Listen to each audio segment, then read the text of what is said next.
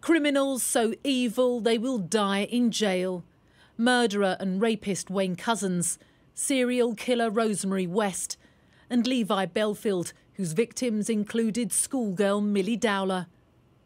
There are around 70 prisoners like them who will never be released. And in each case, it was a decision made by the Home Secretary at the time, or more recently, a judge.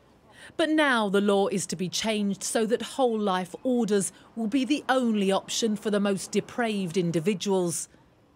It's the sign of a government showing it's tough on crime in the wake of Lucy Letby's horrific offences.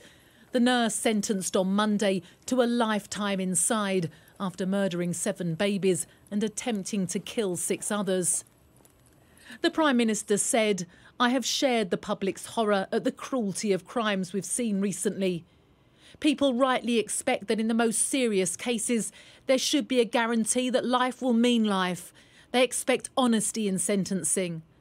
By bringing in mandatory whole life orders for the heinous criminals who commit the most horrific types of murder, we will make sure they never walk free. Any killing involving sexual or sadistic conduct would be included, except in what's described as extremely limited circumstances. It's prompted concern. The whole life order is obviously very draconian. It, it, it, offers no scope for eventual release and rehabilitation, even after 50 years, or even if somebody may be very close to death.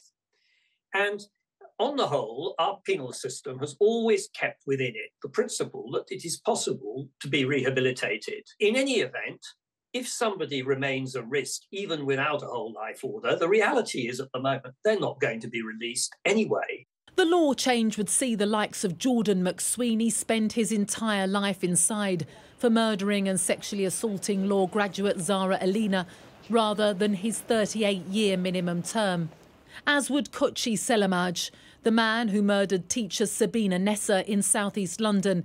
Instead, he faces at least 36 years in prison.